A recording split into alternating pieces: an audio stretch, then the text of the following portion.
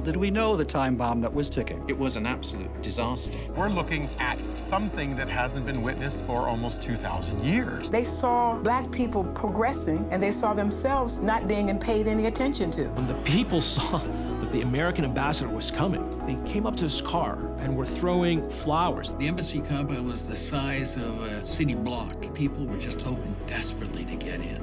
And there was cold and darkness even at noon.